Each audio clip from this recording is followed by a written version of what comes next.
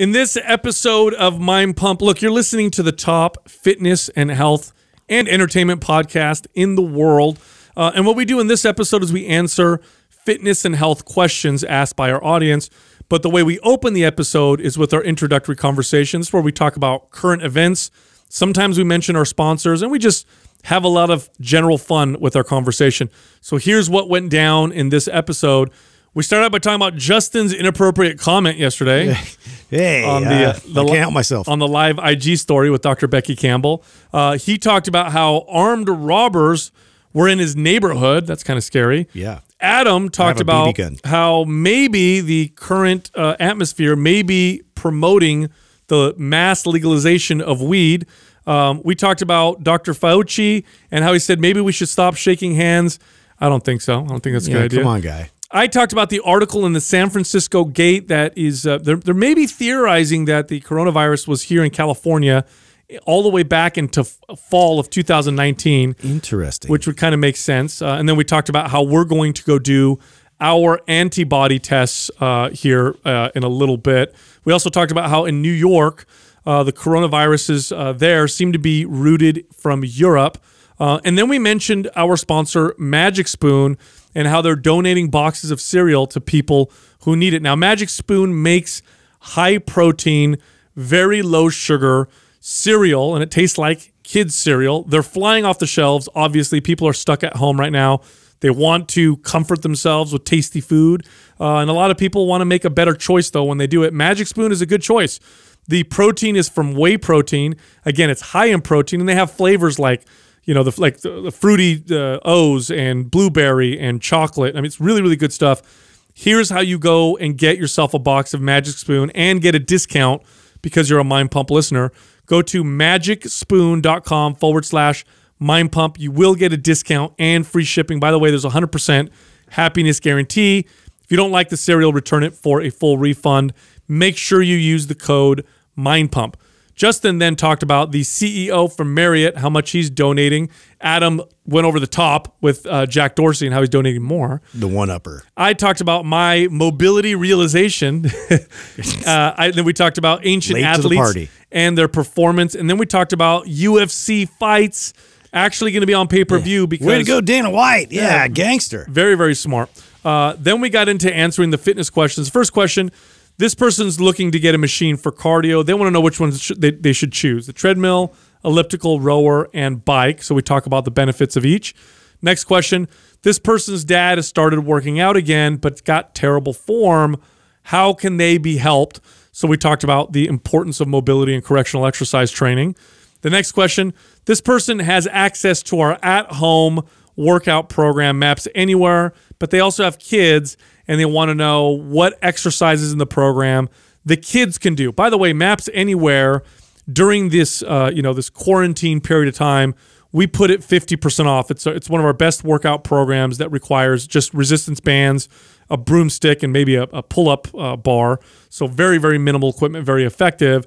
This program is going to be half off until things are, are you know settled down.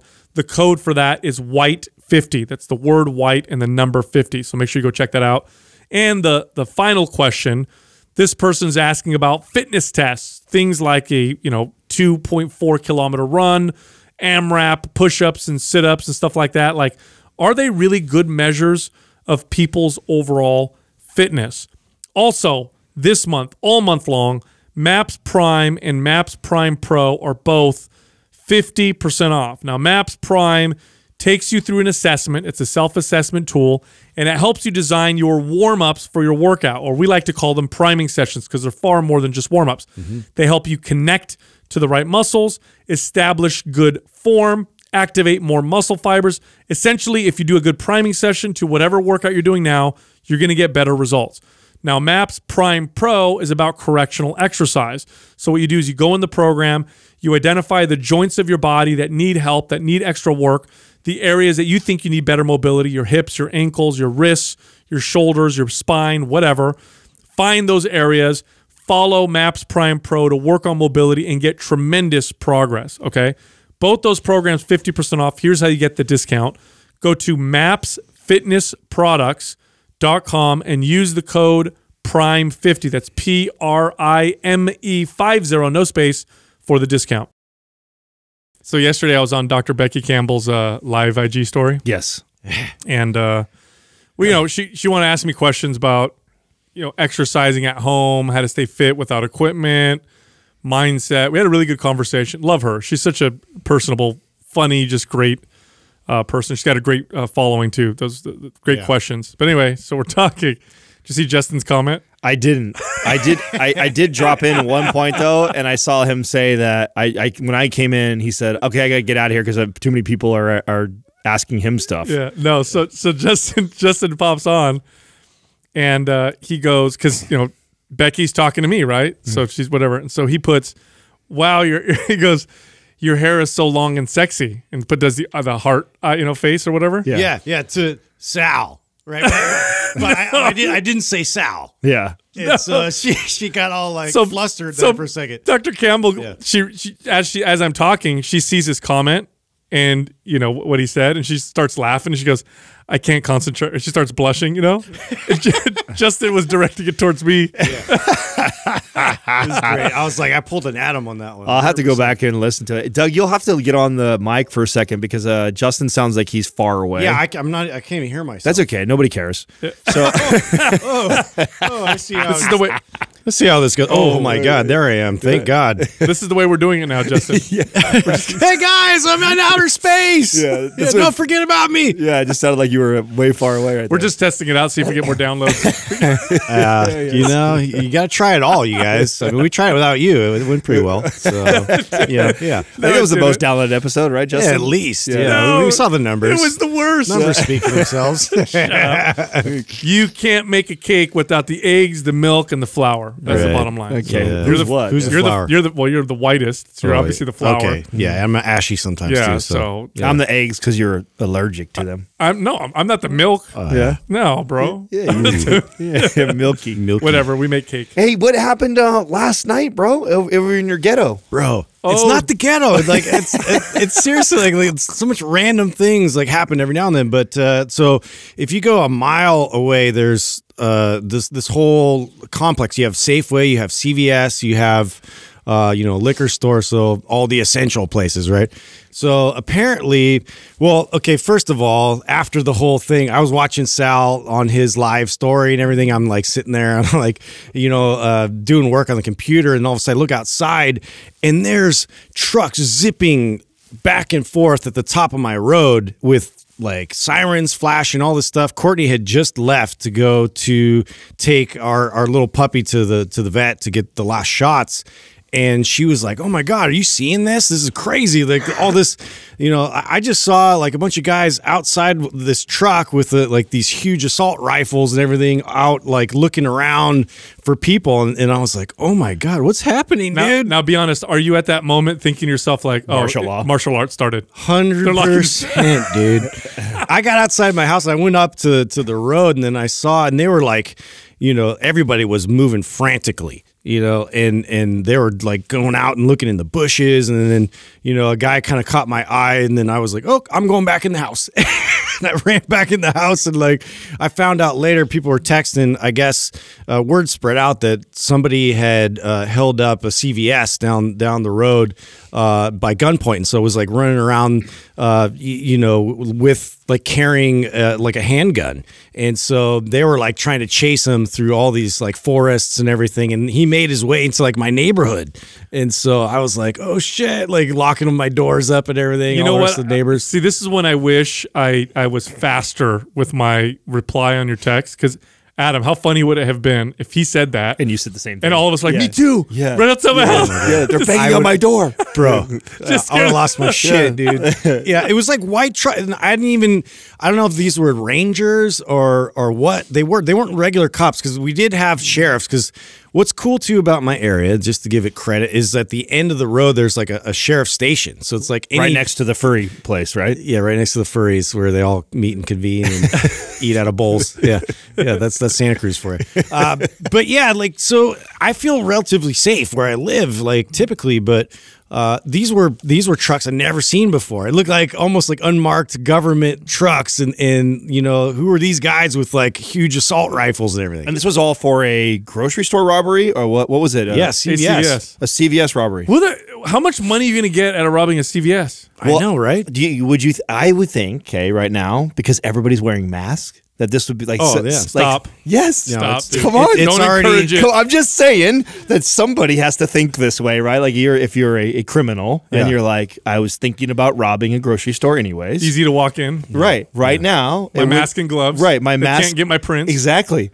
My mask, my gloves. I don't think about I- this: all the security that's normally like his head, he's mad yeah, right now. All, all the security that's normally like allotted to like the whole uh, shopping center is just like the essential stores. There's only like one or two stores open, so it's like they're they're ready for that. You know, This is the only time, though, in history that somebody could walk in with a full mask on their face and Yeah. kitchen rubber gloves, And that's you, normal. and you wouldn't even bat an eye right Yeah. now, Yeah. right? So you could probably get right to I where was you gonna take my Slipknot mask and, and go down and get some groceries. That might get. you So might get you you brought something. You just said something right now that I've been meaning to bring up on the show because I wanted to hear you guys' opinion on this, and I find this really interesting.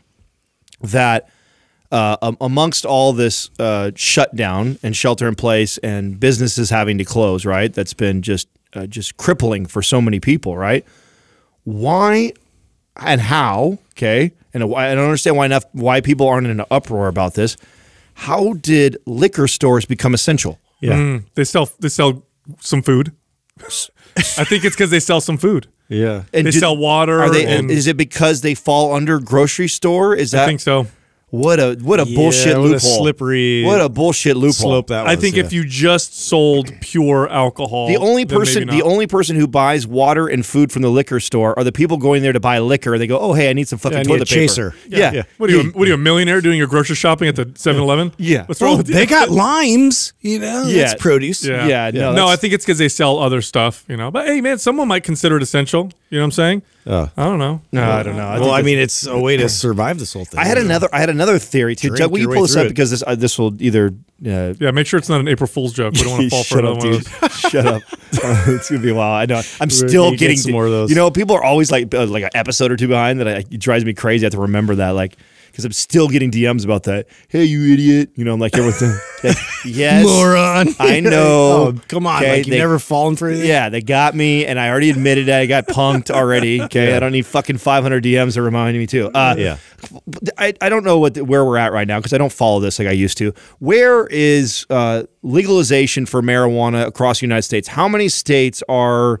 Uh, Are legal for recreation? yes. Oh, okay. Because I I Not think many. I Yeah, think definitely if- not Ohio. I if remember there that. is anything that may fast track this to go all the way across the United States and that actually has the potential to drive enough tax revenue dollars would be almost every state would be smart to get on that as fast as they could and legalize it and tax it Why? Why do you think this would motivate that?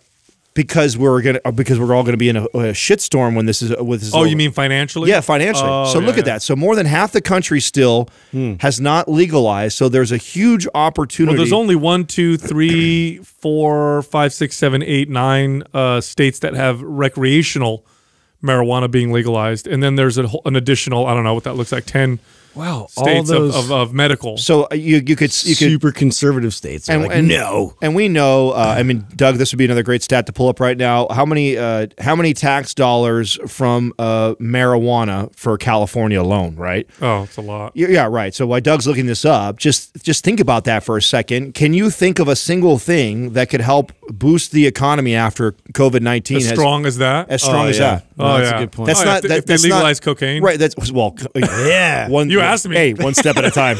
one step at a time, guy. Yeah. But California has a first. there's not going to be any more raves or parties. You know what I mean? So then what are you going to do? No, I really, I really, th- I think you're going to see this. I think uh, it, this isn't like uh, I'm the only one that could be thinking about this. You, if you're, if you are a, you know, governor right now, and you are looking at your state bleeding right now, and you haven't legalized marijuana, and it's kind of inevitable Right. that we're going this way, and everyone's going to be, and maybe you were a conservative state that was kind of fighting it for now. You, this is what this might be the. so here, here, California point. Has Could be good raised. answer. California has raised one billion in cannabis revenue two years after launching the legal market. So a billion dollars in two years.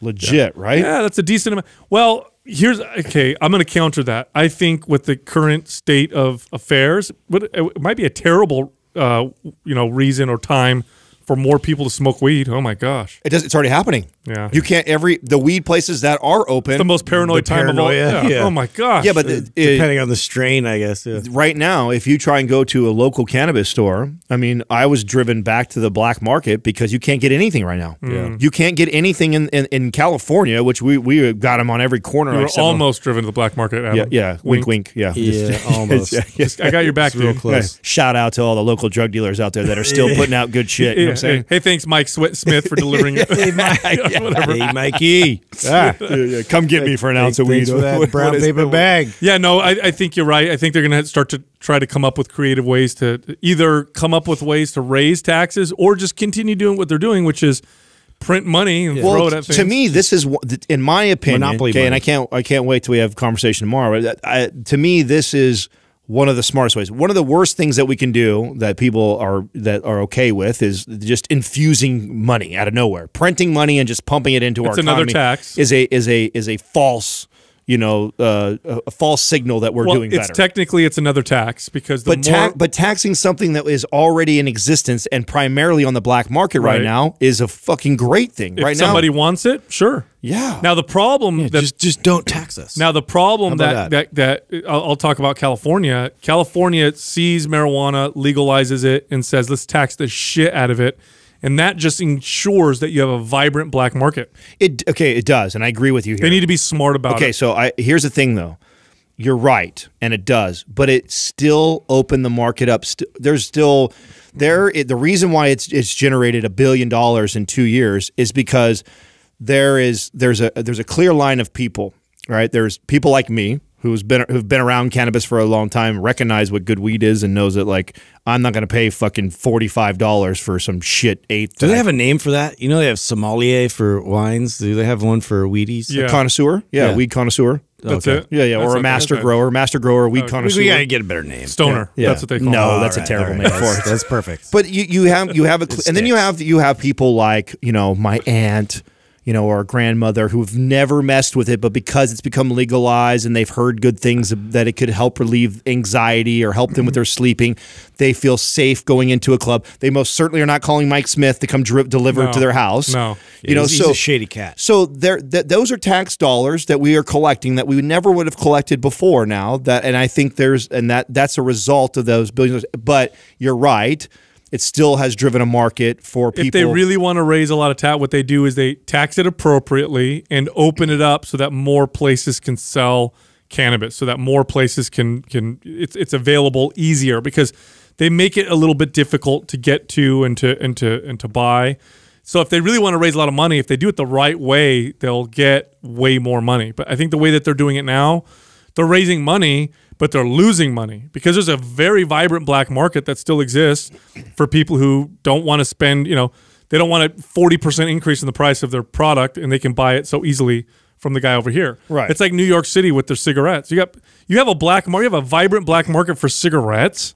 You Yeah. think to yourself, that sounds crazy. It's because New York taxes the shit out of their their cigarettes. I mean, at the end of the day, you're right, and it's not perfect, but it still is. It's still significantly better than what's going on. Yeah. Like it's better than if it's better than a Yeah. state that is illegal because you're then right. the, it's an entire black Totally. market. Mm. At least let's collect a billion dollars. You know what I'm saying? It, it could be it could be two billion, and if you do it right. Yep. But I'll take a billion dollars a state. I mean, if that, if that were to happen, it might actually raise us out of this when we're done. And I bet you there's going to be a. l- I th- I bet you're going to see.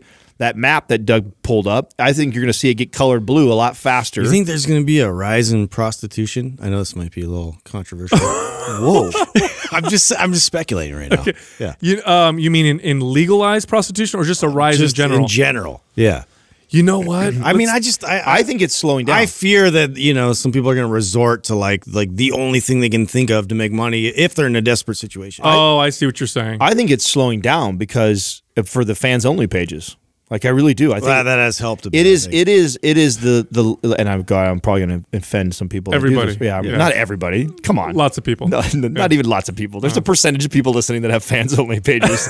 Everybody else that enjoys them, they don't give a fuck, right? So if you're somebody who Because they're popping up like crazy. Oh, they Yeah. they are, and you know they're they're making some good money right now. If you are Yeah, but I think it's such a terrible long term strategy. Because, Well, I, dude, I'm not. Yeah. By no means am I condoning it, or I'm pro it, or I think it's a great business model. But it's a hustle, just like prostitution kind of is, right? It's not like the best business strategy long term for a family, No. right? But it is a hustle. But it's and, like one of the oldest trades, uh, you know, ever. and you're able to hustle now online and not even put yourself at risk. You know, you can. You Mm-hmm. but can, do you think that that is going to like? Do you think, for example, pornography reduced uh, prostitution because now there's more access to videos and pictures? I don't necessarily think they're the same thing.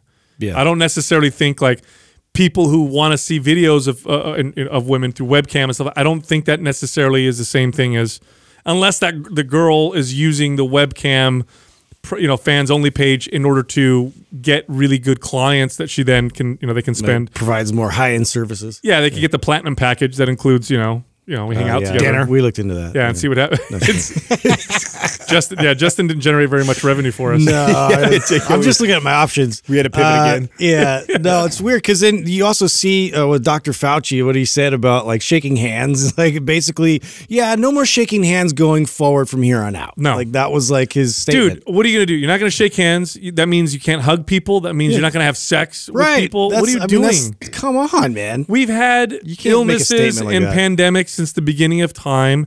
Humans need touch. We need to touch each other. It's just, just uh, uh, it's a part of being healthy. I think that's crazy. Although it does bring something interesting up. Doug had mentioned, and I, I wonder if this, if there's any truth to this. He said, you know, I wonder if the if the Japanese came up with bowing because of maybe a long time ago Yeah. of that. But how would That's they know? though? interesting. That's an interesting thought. Yeah, yeah. I don't know. I like the handshake. You know, you you, you can you connect with someone. You can instantly, you know, uh, yeah, but you're not doing it right now. what? You're not handshaking right now. No, no. Yeah, yeah. No. no, I mean, that's Yeah, what are the safe ones like saluting, bowing? I do. I do this. uh, you know? the- yeah, head nods. Yeah, the old. oh, dude, well, that's gonna come back. Yeah, that's a, you know. I've been doing that. What's up, for bro? long- Yeah. Yeah. You know, Yeah, yeah, you yeah. look kind of look like I hurt my neck the other day.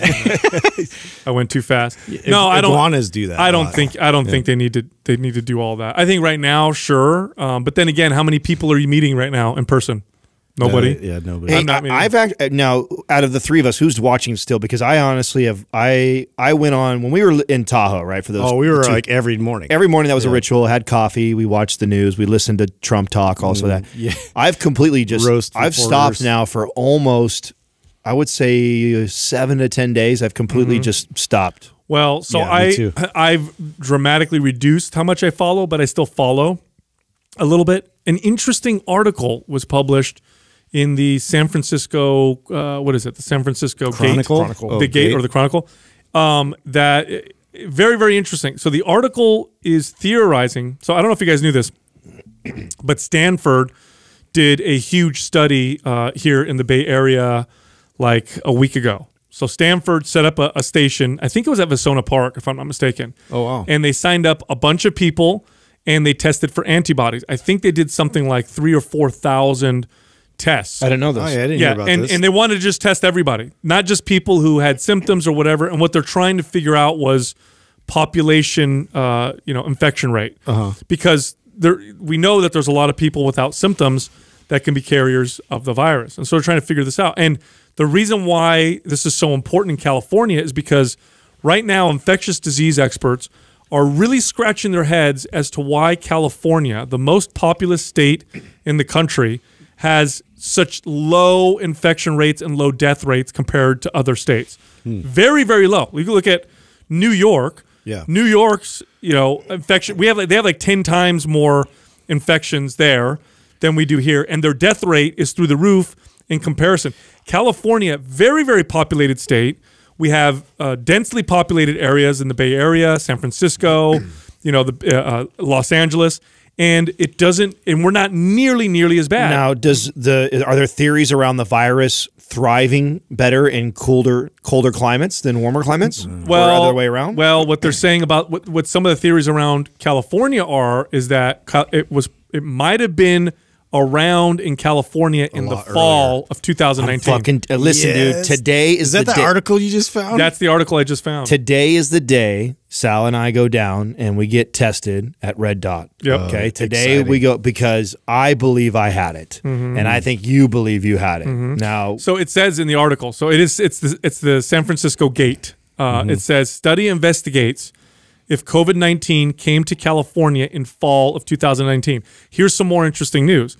We had an early flu season in California, and, and it hit off hard. Yeah. and there were a lot of mysterious illnesses that were happening here in California around that time. Mm-hmm. Combine that with the fact that people are just not getting. Look, I know we had the the, the shelter in place and all that stuff, but we're a big, we have a lot of fucking people here. and we, and homeless How can you- population. yeah. Yes. And how can you be confident you could trace it just to like a specific date of one passenger coming out, you know, and like spreading it? Like, Well, California has been forever and continues to be by far the the most uh, the most popular tourist place for Chinese Yeah. uh, for Chinese tourists by far, and they love to Right come across the pond. They love to go to L.A. and they love to go to San Francisco, Mm-hmm. and that's we were some of the first places hit by when they started testing by Mm-hmm. COVID or whatever, right? New York. Right now, they're doing tests and they're finding that because all from Europe, right? Yes. Yeah. They're That's what I finding read, too. So because COVID, Oh, interesting. COVID's mutating a little bit here and there, and they can start to see like, oh, this one came from Europe. This one came Oh, from China. really? Most of the cases in New York, they're finding came from Europe. So it, what might have happened is California was exposed early.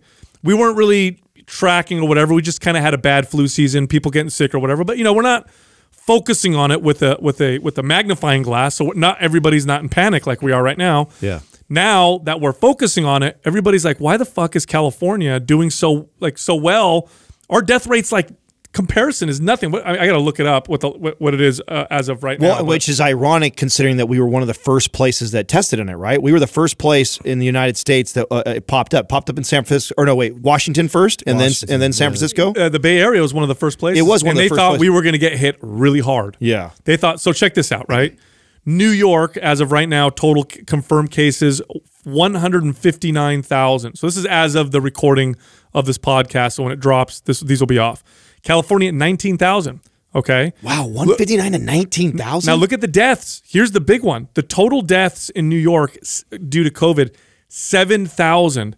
The total, total, total deaths in California, as of you know when we started paying attention and testing, five hundred and eight.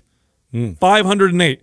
We have four hundred and eighty nine total cases per 1 million of the population, 13 deaths per 1 million. New York is at 8,000 cases per 1 million and 360 deaths. Our number of 13 deaths per 1 million population is very, very low when Now, you compare it to others. is the one in Europe, is that like, has it mutated at all and like become a different type? Uh, have they, have it's they a, it's for it's that? mutated a little bit, but they're not finding it to be more or less. Okay. Okay. Yeah. Good. Because I'd be like, oh shit. No, I are they- watched Outbreak. now, No, are they are they the the ones that are getting it in California? Are we tracing that to to China? I haven't we- read. I haven't read anything Okay, about 'cause I- that. I wonder. I haven't read anything about, it, but I could look it up. and how many see. and how many like uh, when when I saw that Red Dot was doing that, I mean, it just blew my mind. I didn't know that the people the people were private people were doing this yet. Yes. Is this happening more and more? Are you are you hearing? companies are starting to get their they're they're getting FDA approval to be able to provide uh, antibody testing um, to the population, uh, you know, through private means, which means you have to pay for it, uh, which means that they generate revenue to produce more. This is going to be in addition to all the tests that the government is paying for in the hospitals. This is a very good thing. So when thing. so when Stanford did it, what was the outcome? How many people had? We don't know yet. Oh, we don't. It just happened. They just did this test, but we're going to start to see the results. And what they're going to what they're going to find with it is a more accurate population uh, infection rate. Because, like, okay, Iceland I think did this, or Greenland or Iceland did this, where they tested just a bunch of people, and they got a more accurate, you know, uh, infection rate because. When you infect, when you test only people with bad symptoms, Right. you don't really get an accurate number because we don't know all the people that don't have that are asymptomatic. We don't know any of that stuff. So that's what they're trying to figure out. I've been, I've been this is thi- and I'm such a numbers guy, so this is something that I was like trying to explain to my my friends that have been freaking out since the beginning of all this. Is that what we know the, the number the number that's been pretty consistent, even with people that make it to the hospital and we test. 97% of the people report mild symptoms. Mm-hmm. Okay, so if 97% of the people that go to the hospital and get tested report mild symptoms, what percentage of people don't even go report it? Right. Like yourself Right. or potentially might. Now, I'm not saying that we did. We don't know yet. We'll find out. But to me, that just it makes you got to think a little bit that there's got to be a there's got to be some percentage, whether it's one percent or fifty percent of the people don't even go into the hospital, which would completely inflate and change those numbers. It's interesting, isn't it? Yes. And I yeah, I'm really interested to see what these antibody tests say for us. Uh, I'm not gonna lie, I'll be really angry if I get the antibody test. Yeah. And uh, and I didn't have it. I'll be like, fuck. But we'll we'll see. It's very interesting. But it is weird that California is just doing ex- as exceptionally well as it is. And none of the, you know, these infectious disease experts would have forecasted that Yeah. at all. So this is kind of a theory that it was circulating way before. Speaking of New York, um, and I mentioned this on the last time we brought up Magic Spoon is the that is where we are sending uh, the the boxes of cereal are to the New York Food Bank where they need it the most right now. Oh, nice. So for and that's for all of April. So and it's already started. So for every Magic Spoon uh, purchase, they're matching that with a box of cereal. Uh, that will be shipped out over to the New York Food Bank where they need it the most right now That's in the country. Magic Spoon is, is one of our, our uh, Champion our- companies. They're one of our partners that is just crushing right now because people are ordering their high you know high protein no sugar cereal because it's high, you know good shelf life. It tastes good. You're stuck at home. comforting. Yeah. It's you know, and that's a strategy now. I don't normally recommend this strategy to people under normal circumstances. I don't like this strategy that that you'll hear a lot of fitness coaches recommend their clients, "Hey, if you're going to, you know, why don't you have healthy snacks and why don't you make all these substitutes and whatever?" I don't think that's a great necessarily long-term coaching approach, but under the current circumstances, I do because uh, it's stressful. It's think times are tough. You don't want to go to the grocery store every single day. You want things with a long shelf life. So rather than getting Froot Loops, uh, you get Magic Spoon, and then you have you know high protein, low sugar. So this this is a strategy that I think a lot of people are adopting, which might be why they're crushing. Well, yeah, yeah. I just like, I just love seeing. You know, it's cool. It makes me feel good about uh, the vetting process that we all do uh, before we partner with a company. And I always wonder, like, I always feel like, you know, one day we're gonna we're gonna be wrong, right? We're gonna think we love some company, and then we're gonna find out some bad, yeah, right, or that they do something bad, and then we're like, fuck. But you know, I think because we care about that so much and we stress that and and vet them and, and court them before we actually do a partnership with them.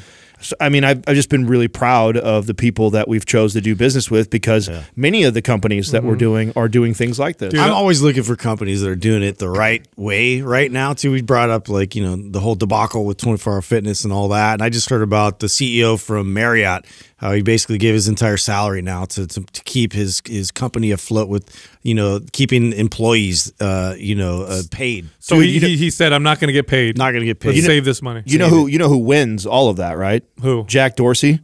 Have you pulled Doug? Pull this up. Uh, um, you know, rich people. Uh, what percentage of rich people donating for COVID nineteen? Let's see if it, this graph comes up. I saw this graph today. Oh yeah, I did see that graph. And yeah. you're talking about, you know, the Bill Gates, the Oprah Winfrey's, like they've all donated millions of dollars, which is amazing, right? Bezos, yeah. And they but they show the percentage of that of their total income. Mm. And uh Jack so the Twitter CEO So if you're like a hella broke and you give ten bucks and like fifty percent of my income, yeah, yeah. yeah. I mean, I think on average, it's it's like a it's like it's two or five percent of the, the all of these you know millionaire billionaires and millionaires uh, money. But Jack Dorsey gave uh, a billion dollars, so he's the only one that gave a billion dollars, which is billion? which is thirty two percent of his net worth. And everybody else is like all the other people that are giving a hundred million, 100 10 million, but it's like yeah, it's a drop in the bucket, but whatever, it's still a wow, lot. he Yeah. donated a one billion to fund That's insane. COVID nineteen relief and other charities. What a champion, right? Yeah. Good. I see. That's uh, great. This stuff. This is the stuff I love to see about uh, you know about uh, you know successful people because I'm gonna tell you you know Bro, that is a thirty-two percent of your fucking net worth is a big, A huge deal. That is a You're taking a big. huge yeah, yeah. chunk out. You know, haters are gonna be like, yeah, but he still has. That means he's got another three billion or whatever you know left in his account. oh God, Stop. I Yeah, know. I know. yeah, so annoying. What did you give, asshole? Oh, I know. Two bucks? So annoying. Anyway, so uh, I want to say something that's probably going to annoy you guys, Hmm. but man, mobility work when you do it consistently, that shit works really good. It's like magic, isn't it? Oh, Yeah, this Good to have you. crazy. Good to have you on board. But you know what? It's it's always a struggle for me to consistently do daily concentrated mobility work. It works so much better when it's done frequently, when you practice it often. Yeah. But I do fall in that category of, uh, you know, I, if, if I skip anything, it's that because I love the heavy lifting. I, lo- I even love the bodybuilding kind of stuff. And my form is relatively good, so I can get away with it, you know, here and there. And I get all that, but you know, mm. stuck at home, I'm you know finding ways to create structure in my day and to you know alleviate stress and whatever. So I've been consistent Lots with of downward dogging. or yeah, down, downward, upward, downward, Downward, up. upward. So I've been really consistent with you know just and all I'm doing is I swear to God, 15 minutes, 15 minutes once or twice a day of you know the Prime Pro you know mobility stuff and I love it. I love it, man. It's, and you know what's funny? You feel it right away, like within 2 You'll or have three to- days. so Doug just walked out of the room for the listeners, and he's not in here right now. So when he now walks, we talk about no, him? no, no, no. When Oh. he walks back Yeah, let's do in, it. when he walks, walks back in, you have to ask him about uh, the mobility class I took him through yesterday. oh, you took them through a whole really? class? Yeah, so I took so Doug and I have been talking about doing a webinar around uh, some of the mo- some of our favorite movements from Prime Pro. Uh, basically, a forty-five to fifty minute class that I used to teach. I've talked about on the show before that I used to do these classes on Saturday uh, for old clients of mine that used to go to my boot camps back in the days, and uh, so I've been doing that for a long time. And I took Doug through it. So he got to experience it uh, yesterday for the first time, and so it's something that we were just kind of playing with. And I haven't, I haven't even asked him uh, how he feels from Yeah. t- doing it Did you put him through the meat grinder? uh, you know, I, Oh, I- good stuff. I'm yeah, sure. yeah, yeah. No, no, it's good stuff. I just, it's the same thing that I, I used to, exact same thing I used to run in class, but How was it, Doug? It was great. Uh, my hips are much better right now. Really? Yeah. Nice. It's crazy. so Just what I, one, one real session. I mean, really pushing through it and, and going all out. That was amazing. Like 40 minutes. Oh yeah, and, And- re- and really, really concentrating on connecting. Really and- focused. Well, and something that I, I had him do that I I make clients do. So because some you know if you're you got to remember as a trainer right when you when you're helping people that are just like completely detached from their movement and don't really think about mechanics and even even something as great as a great mobility session, uh, as great as it is, they they sometimes can't even connect how well it really helped them. I can, I can see the way they move right away. It's like very obvious to me. So what I have them do is before I even start, I go, what I want you to do with me real quick is we're gonna do ten uh, deep squats together, and uh, and I just want you to just feel it, feel it, go as deep as you can, follow me, and I have I squat all the way down, all the way up, and I count ten with them, and I make them do that, and at, then I do it at the end of the class to show them the diff- that difference. show them the difference, Yeah. and it's so glaring for somebody what a difference of their their hips, their ankles, their knees, how Yeah, deep that they get. feedback is That everything. is a that is a so I would do similar things when I was a trainer because it's such a powerful way to communicate to a client the value of whatever it is that you're doing with them because unless somebody actually experiences it sometimes it's difficult to really communicate to someone the value of something. So then when you show them and I say okay do this row right now and then they do it and then I do some stuff and I now do it again like whoa this feels totally different. Sold. Now they get it. They're bought in um, and they're more likely to do it consistently. It's a very and so here's a here's my point with all this. Do this for yourself. So like what adam's saying try doing a, a few full squats then do 20 minutes of good mobility work then do 10 more squats or whatever and for yourself just so you could see the difference that it makes in how you Right, move and if you think you have a hard time, you hard time seeing it, what'd you say? I said it makes him awful clamped thinking about it. What what you can also video it. I mean, it, you can see. Uh, I mean, I after I watched Doug like get down, like, he was he's getting he was getting an extra probably four inches. you inches. filmed him getting down huh yeah, yeah, four inches deeper into his squat. oh yeah. His feet whole uh, inches. weren't weren't pronating as bad as they were before. His his chest was more upright when he was doing it, and Yep. so I mean, I can as a trainer, I see it right away. So if you have a hard time seeing those things as a client or somebody who's listening, you know, video it. Video your first ten before, do it, and then video it again, and I promise you'll see a difference. And to me, like like you said, Sal, that's being able to show somebody like there's not a lot of things like I can't take you through the I can write I can write the best workout program Mm-hmm. and take you through it and I can't show you five pounds of muscle uh, increase to your bench Not press right away. no not right away but I can take you through a mobility workout and you can feel and see a difference on uh, how you move right away. Right away. and that's such a great And- selling point and, for trainers. And the more often you do it, the more the the, the more permanent that benefit becomes. right, right, Yeah. bec- yeah, it becomes your new pattern. again. Totally. So um, I was reading this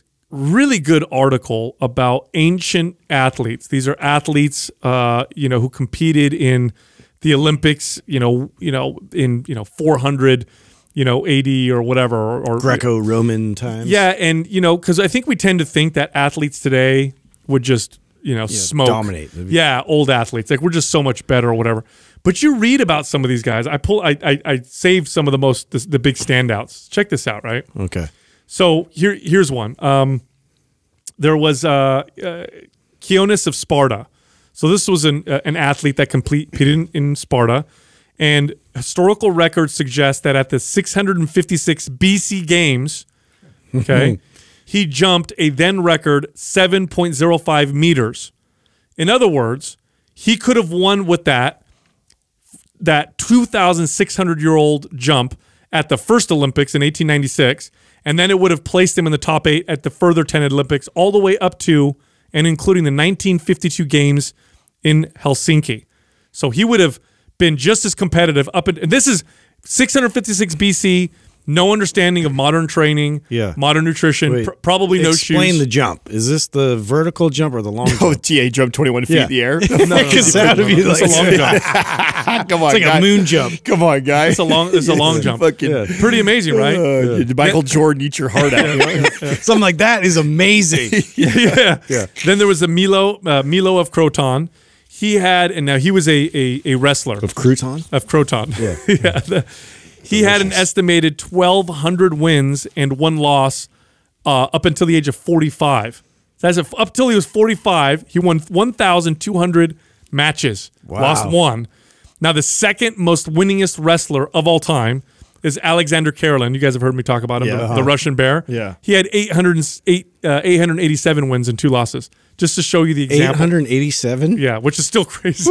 Well, still- you know that this reminds me of somebody asked on. I don't know if it was uh something we were together or uh, to me privately, but they asked about uh, what I uh, one of my favorite TED talks that I could share with them. And Oh, I know what you're talking about. Yeah, my go-to share, like, like when I think of like the most like mind-blowing one for me was uh, I think it's um, are athletes bigger, stronger, faster. I think that's I think that's the title, but it's a TED talk around the uh, evolution of sports. It's a democratization of sport, right? Is Yeah. that how you say it? You did it. Democra- oh, yeah, I did it.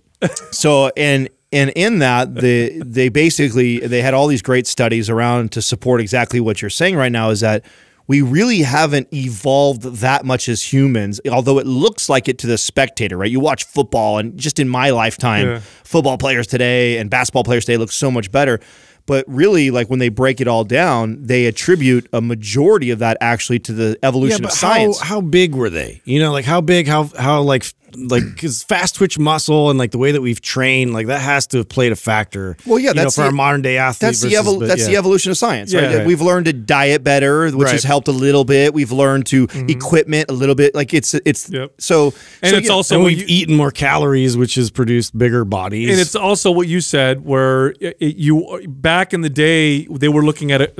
Athletes were considered uh, to, they had they all looked a certain way. There was a general athlete. A shot putter today looks nothing like a, a long distance runner. Right. Looks nothing like a weightlifter. it's super specific. Yes, because now you're picking like the tallest kids for basketball or the, you know, so back th- back then didn't necessarily do that, and athletes competed in many different things. There's another guy, uh, Theogenes of Thasos, who competed for 22 years in every major combat competition at the time: boxing, pancration, and wrestling. You guys familiar with pancration? No, what's that? Pancration is like MMA, except they wore leather. They wore like a strap of leather around their knuckles, and they basically would could fuck each other up however they wanted. So it was it was like It's no like cage barred. fighting without cages. Yeah, First question is from Vidal F3.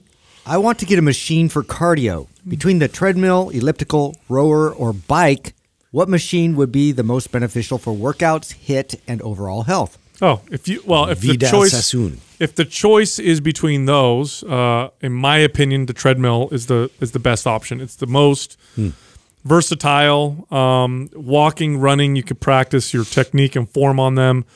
Uh, it's very functional. It's the easiest to do at lower intensities for a lot of people. You know, if you need to get on in there and just walk, um, it's there's a reason why it's the most popular piece of cardio equipment. It's existed forever and it's always in, in all of them.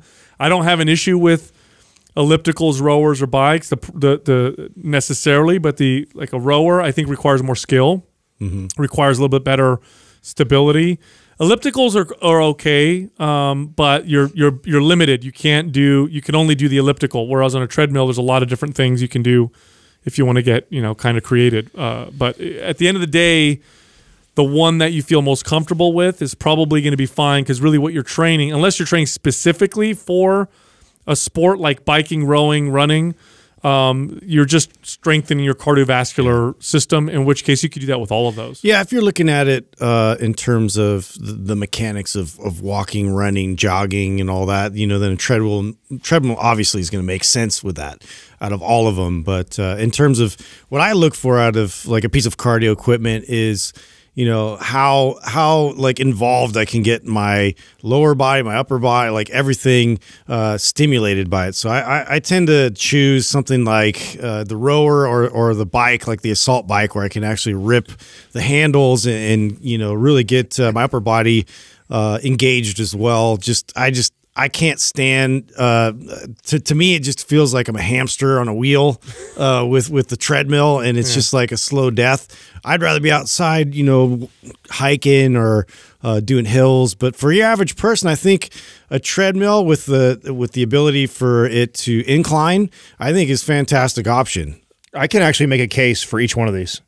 I, there's there's a there's a person that this is that's why uh, the answer is always depends with us, right? Yeah. Because somebody and I if I had to put one uh, uh, in last place, I would put the bike unless you say the assault bike, like Justin just said. If you put assault bike and replace a bike, I can make a case for each one of those.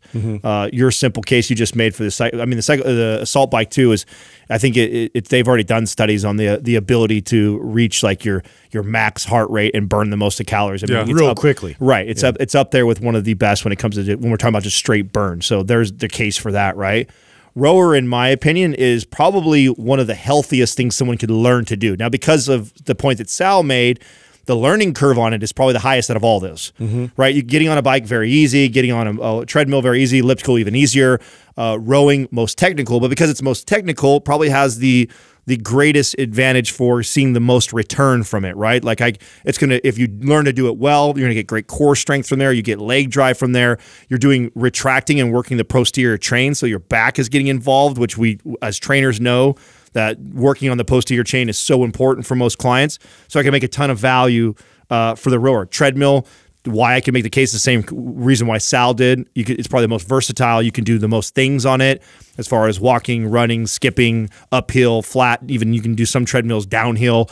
So I think that that one is the most versatile. Elliptical though, if I have a client who is uh, got joint issues, if you have um, a lot of knee pain or hip pain, uh, that is the lowest impact. That one and the bike are the lowest impact out of all those. So it's probably the healthiest way. And you are moving, ellipticals are moving your arms and your legs. So it actually, when you measure the calorie burn in comparison to a lot of things, it may seem easier. But you, I remember when I, uh, the BodyBugg first came out, I actually wore it and then I did all of these uh, different uh, cardio modalities to see like how the expenditure. And the one I was most surprised in was the elliptical. Elliptical was right up there with the treadmill with the most amount of calories burned for the same amount of time that I, uh, that I was on it. So I can see a lot of value there. So it really depends on the person. Uh, none of them none of them are wrong. And like Sal said, the main thing that you're using it for, unless it's very sport specific for what you're trying to accomplish, is to train the heart. And you could do that doing jumping jacks. You can do that uh, jogging outside. You can do that with warrior ropes. Just running in place. Yeah, and and the truth is, uh, no matter which one you choose, if you do it every single day, consistently for the same time, the same intensity, at some point the body will get very adapted to it, and then the main thing that you're trying to accomplish from it, as far as you know, your your cardiovascular uh, endurance is going to start to diminish unless you start to vary, change it, or increase time or intensity on I it. I mean, but you know, general activity is just good for you. General daily activity is just healthy. So even if you're doing it and you're not necessarily getting any more cardio gains or fat loss gain. So which one? that you're so moving. which one will you do the most? Right. Yeah. So that's the the truth is. Yeah. And, if you you, know, like I- to row, row. Right. So here's why I like the treadmill for me. This is a me speaking, just for myself. With the treadmill, I could, and I used to do this. I in my personal training studio, we had treadmills and we had ellipticals in there. I had a few of them. And what I would do oftentimes is when I was working, um, either on my phone working, or I'm writing something, or I want to read something, I could multitask easier with a treadmill than I could with like an elliptical um, or a, definitely a rower because a rower requires your hand. So I could put the book up on the platform, whatever the screen for the treadmill, and I would just do a slow walk. So rather than just sitting and reading, and believe it or not, for someone like me, that movement actually helped me stay focused. I would actually absorb more of what I was reading, but I would walk at a slow pace. It would be like you know with a three or whatever, and I'd put the, the, the book up on the on the platform, and I would just read, and I'd be there for. 45 minutes just to be active. So. I didn't even mention the jump rope, but that's my go-to mainly because like uh, the, the timing of it and the snap and the power that is a great you know way to to to, to translate to uh, you know athletic moves and just being more explosive and it's just like a repetitive pattern that uh, you're training your body to to you know respond and get that recoil really quick uh, and it, it requires a lot of skill. I mean, the, there's no doubt about that. Like you have to really uh, work your way through that so you can get to the timing and the and the body position and you know where when and where you need to like add your your bits of inflection. So uh, uh, it's definitely something though that I always go back to that to make sure that I have that skill. Next question is from Joyful JJ. My dad has started working out again, but he has terrible form. I don't want him to hurt himself, but I don't want to discourage him either. How can I help him? Well, this goes to your point you made earlier in the episode, Sal. Like, you know, get him on mobility, man. This is uh, It's it, but you know here's this is something I want to add to this though. Okay, Bec- just because you're focusing on mobility doesn't mean you're not working out or exercising. ask Doug, hey, ask Doug that. yeah, yesterday I was really uh, straining. Yeah, It well, was a workout. Well, look here. Okay, oh, here's yeah, here, up a sweat. Here's something that I want to I want to clear up. I actually said this on Becky Campbell's chan- channel yesterday. There's this belief that if you focus on correctional exercise and mobility, that you're going to get slower results. That you're not going to get as great a result. So it's either it's either or. Either I want the muscle building and the fat loss and the strength, or I just want to do correctional exercise and mobility. It's actually that's not true. The truth is you'll get there faster and better by working on mobility, especially when you look at it in longer terms, 3 months, 6 months and a year. If you start your workout properly and you focus on correctional exercise, if you focus on mobility, not only are you going to are you doing it the better way with less chance of injury and all that stuff, you're going to get there faster and more effectively anyway. So the only choice is to do it. There is one right way, is my point. It's not mm-hmm. like, oh, you know, I'm giving one up for the other. It's only one that's the right way. And so start with mobility. That is his workout right now for sure. Wow. Yeah, that was it. Done. That was That's impactful. short and sweet. Mm-hmm. Next question is from Russell Gerwer. My kids and I have been using MAPS Anywhere. It allows me to get my workouts in and teach them a few things about exercise. What adjustments, if any, do you recommend to program for children? That's a really good question. Um, so when it comes to kids and, and working out with kids, there's a couple things that I think you want to consider. One, can they do the movement uh, with what seems, what looks like good stability and good control? If the answer is yes, then the movement's appropriate. How long is their attention span uh, doing these exercises? That's too? the other big one. Yeah. You know, when I would train, uh, so when I would train teenagers, I'd say over the age of 14, um, I could do an hour workout with them, especially if I did a good job talking with them in between sets and, you know, kind of joking around and having fun. When I would train kids, because I did train a few kids, you know, under the age of 12, really, really tough to keep them in a structured workout that isn't play, because play is easy. You can do play. I can play with a kid for two hours, no problem. But like a structured, like, okay, you got to do this, you got to watch your form, make sure your knee is doing this. You're, you're looking at like 20, 30 minutes. Yeah. It's about maybe 20, 30 minutes max for most kids. After that, you're just creating a torturous.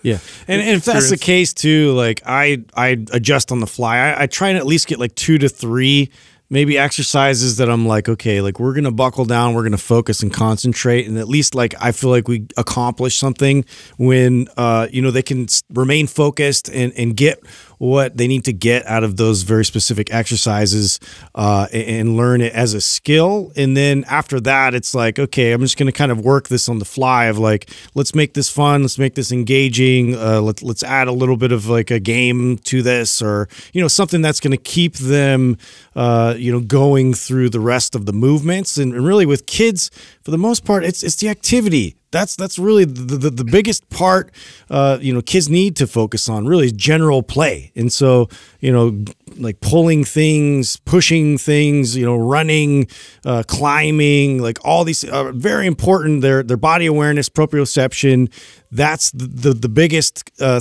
concern for me always with kids is, is to be able to establish that so then they can build upon that later as they develop.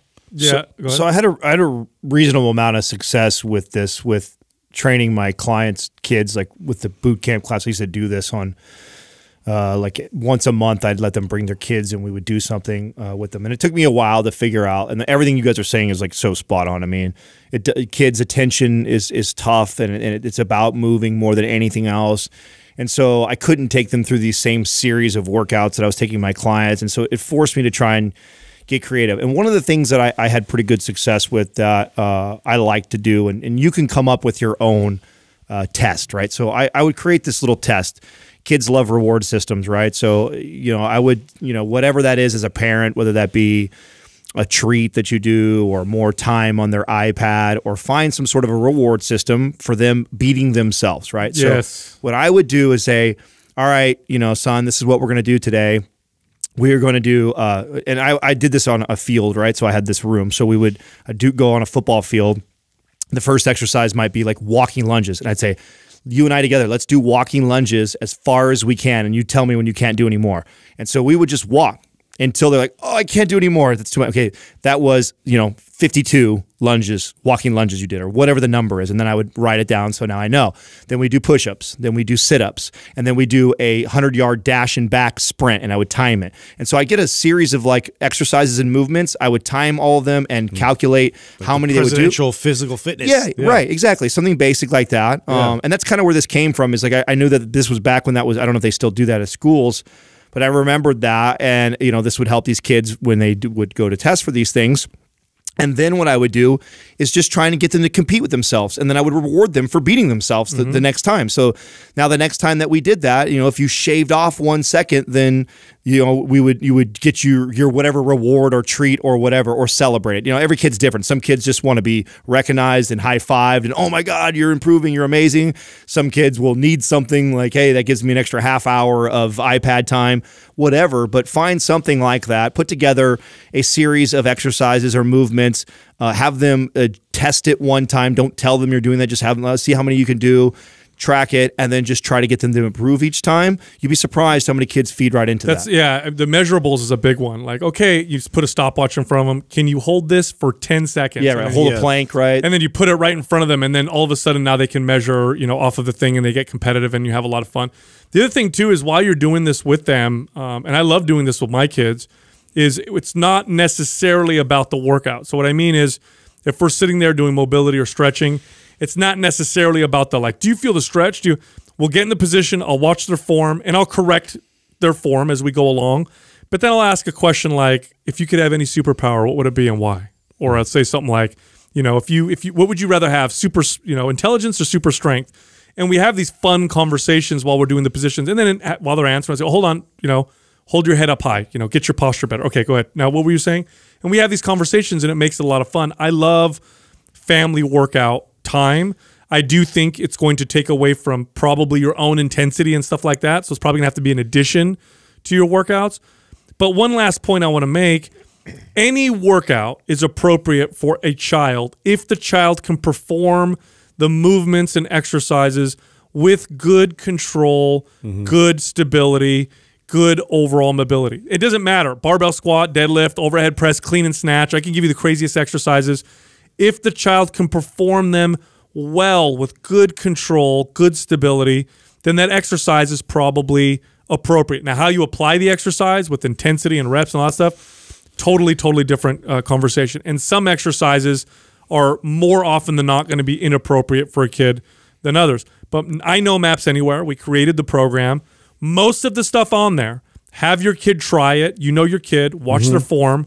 If joints are out of whack, if things are wobbly, if they don't have good control and good stability, okay, we're not going to do that exercise. you No, know? it's great because it's it's body weight. You know, m- the majority of the exercises, and this is this is just something that you can you know take that time to really coach them through that. And, and a point I was going to make, uh, listening to Adam bring that up, uh, reminded me. I I used to download these these HIIT apps. They were like timer apps, and you can adjust the the tempo on them and the timing of it. And so uh, I would slow that tempo down and give them like beats, and every beat they had to like drop down at a certain cadence, or they had to hold the position, you know, for you know ten to twenty seconds. And so I would have them hold positions in a push up. I'd have them hold positions at the bottom of a squat, and it's really with kids uh, to get them to slow down is a huge accomplishment. So Yeah. uh, that's that's a tool, in, you know, in your toolbox. It's like you're making it a game. Here's a fun. Yeah. Here's one example of a fun. You know the single leg toe touch, right? You balance on one leg, you reach down, touch the floor, touch your toe, stand back up. It's a nice posterior chain exercise. Here's a fun way to do it with kids. Mm-hmm. You take a bunch of pencils, you drop them next to their foot, and say, "How many of them can you pick up before your other foot hits the ground?" And now they're having fun. They're bending over, they're picking it up, and oh, my foot touched the floor. I only picked up three. All right, how many can you? You know, how many can you do? And you just do this fun game competition. yeah. Next question is from Jay Lee Ann. Are fitness tests such as the standard 2.4 kilometer run, one mi- minute AMRAP push ups and sit ups a good measure of people's physical fitness, or are there better tests? You know I, I i hate when people say things like you know i this is these tests tell us that this person is the best Yeah. most fit gen- fitness now i'm not Where- talking about health Where, where is this from? Where's that? Where, what test is that? Yeah, I don't know. I was trying to find that out because it just reminded me of our.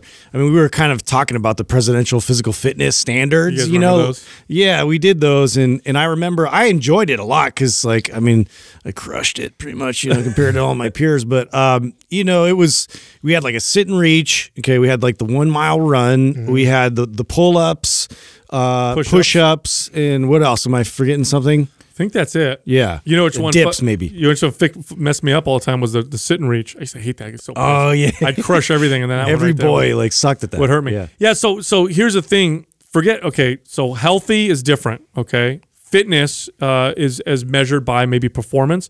Very specific. Is somebody who can do a really fast 2.4 kilometer run. Uh, you know, one minute AMRAP, push-ups and sit-ups. Do they have great fitness for Olympic weightlifting? No.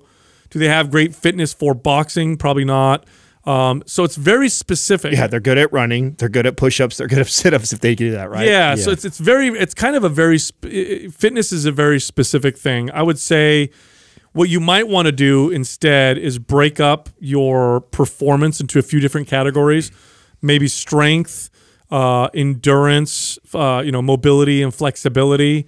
Um, maybe those three I'd say would be the general ones, and then have a component in each one of those. I don't know. What do you guys think? Well, I do. I here's something that I will. maybe a j- explosive jumping. this this does smell very CrossFit to me. Yeah. but I, I will to and that stinks. to give it to give to give Bingo. it to give it credit.